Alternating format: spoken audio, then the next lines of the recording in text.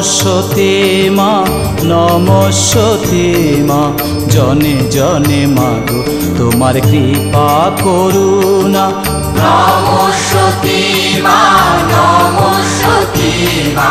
জনে জনে মাগো তোমার কৃপা করুণা। তোমার কৃপায় মাগো বোবায় কথা কয়, তোমার কৃপায় মাগো অন্ধে আলো পায়।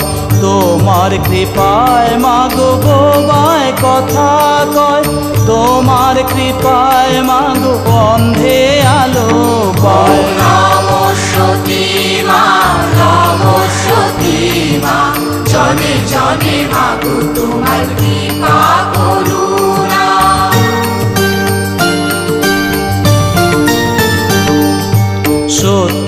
ধর্ম মাগো সত্য কর্ম।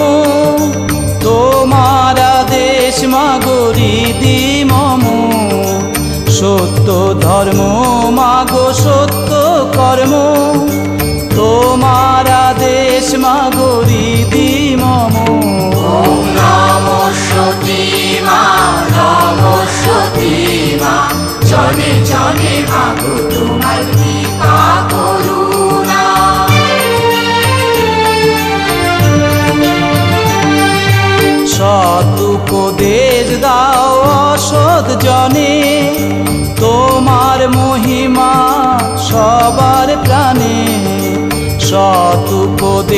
দাও সজ্জনে তোমার মহিমা মাগো সবার প্রাণে।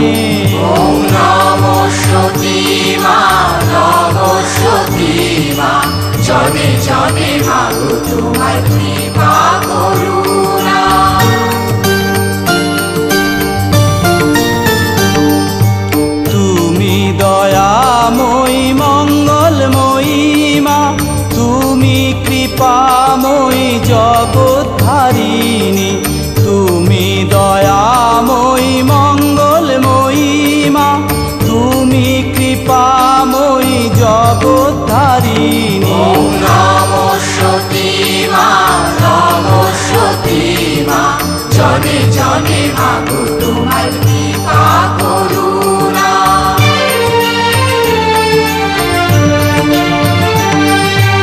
অগতির গতি তুমি স্নেহময়ী মা, প্রেমের প্রতিমা তুমি মাগো সতী মা।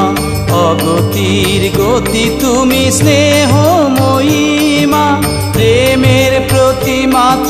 তুমি মাগো সতী মা নমস্যতে মা নমস্যতে মা জনে জনে মাগো তোমার কৃপা করুণা।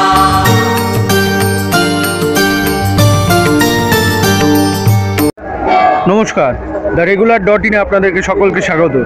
এই মুহূর্তে আমরা দাঁড়িয়ে রয়েছি কল্যাণী ঘোষপাড়ার সতীমায়ের মেলা একদম মূল মন্দির প্রাঙ্গণে আমি ক্যামেরা পার্সন যে আছে তাকে একটু দেখানোর জন্য বলব যে অগণিত মানুষ, অগণিত ভক্ত এখানে তারা এখানে পুজো দিতে এসছে, আমি একটু দেখানোর জন্য বলব যে অগণিত ভক্ত এখানে তারা যারা রয়েছে তারা পুজো দিতে এসছে, তারা দীর্ঘক্ষণ ধরে লাইনে দাঁড়িয়ে রয়েছেন, তারা লাইনে দাঁড়িয়ে তখন পুজো দেওয়ার জন্য, মনস্কামনা তাদের পূর্ণ- করার জন্য এখানে দাঁড়িয়ে রয়েছেন।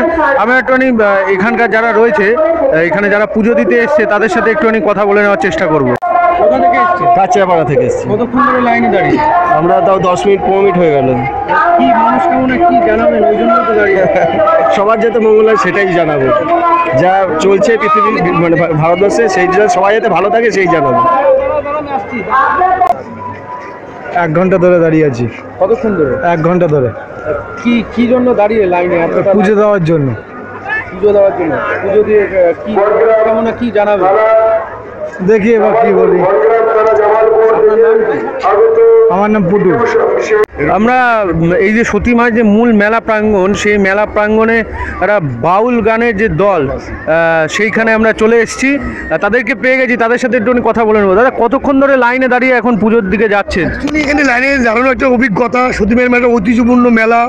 এই ডালিমতলাতে যিনি মনসা করেন ইভেন যারা ল্যাংরা মানুষ তারাও ভালো হয়েছে বোমালোকও কথা বলেছে। আমরা বাউল গান করে বেড়াচ্ছি আকড়া আকড়া তো দেখলাম মায়ের এখানে একটু লাইন দিয়েও করল করতে হয়। বেশি সময় লাগছে না। সিস্টেমটা মনে ঠিক আছে।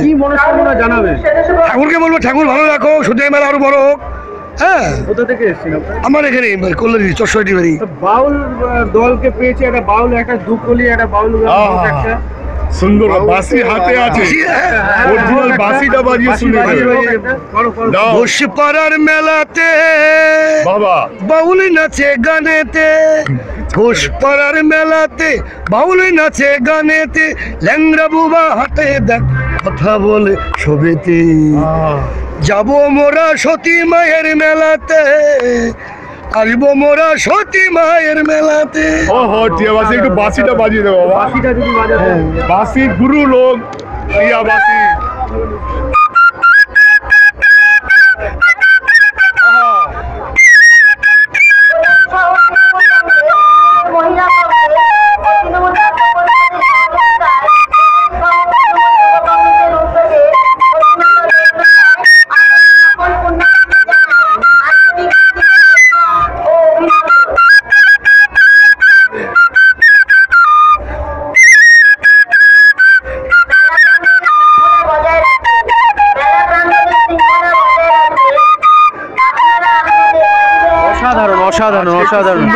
হয়েছে কি জানেন?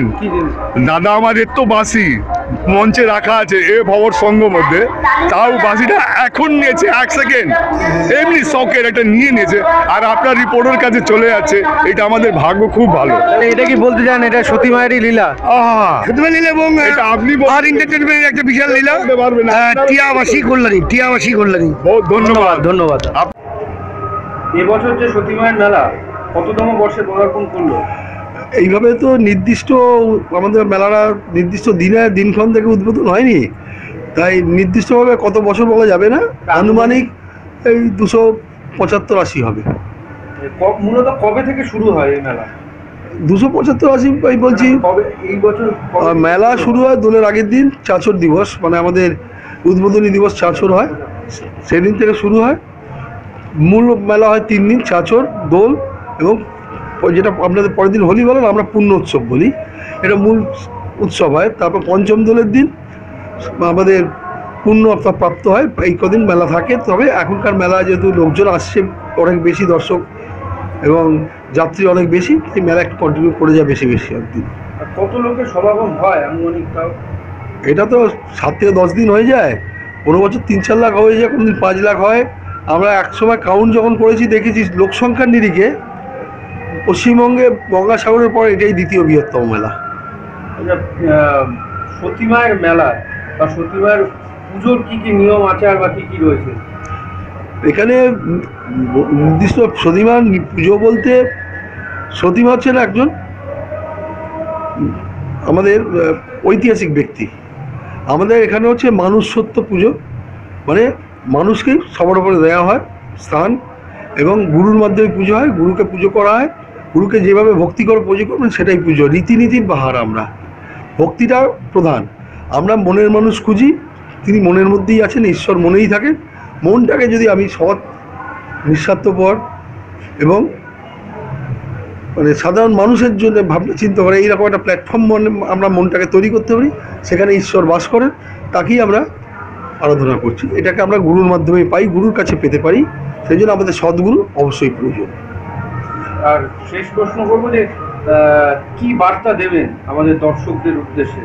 আমাদের প্রধান বার্তা আমাদের যে মূল ধর্মের যে মূল নীতি, আজ থেকে তিনশো বছর আগে, দুশো পঁচাত্তর না আসলে তিনশো বছর আগে থেকে শুরু, মেলাটা বললেন বলে একটু কম হলো, মেলা তার একটু পরে থেকে শুরু হয়েছে।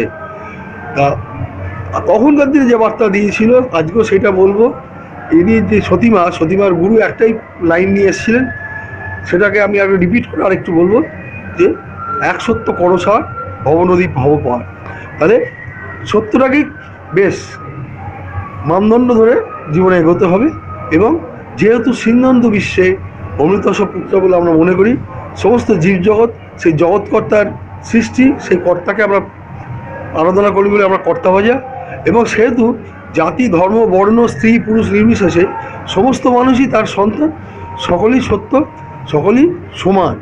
তাই কোনো জাতি ধর্ম বর্ণ আমরা মানি না। এটা সম্পূর্ণভাবে অসাম্প্রদায়িক একটা প্ল্যাটফর্ম সমস্ত ধর্মকে আমরা সম্মান করি সকলকে আমরা স্বাগত জানাই এবং মানুষ সবার উপরে এই বার্তাটা আমরা সকলে দিতে পারি। এইটার মধ্যে মনে হয় আজকের দিনে যে রাজনৈতিক ডামাডোল এবং সাম্প্রদায়িক হানাহানি তার এগেনস্ট একটা স্ট্রং মেসেজ বোধহয় আমাদের ধর্ম এখনও দিয়ে চলেছে এটা আশা করছি। আপনার নাম এবং পরিচয়? আমি নাম হচ্ছে সত্য শুভ পাল দেব মহান্ত আমি সতীমার সপ্তম অধস্তন পুরুষ। সতীমা প্রথম পুরুষ ধরলে আমি সপ্তম।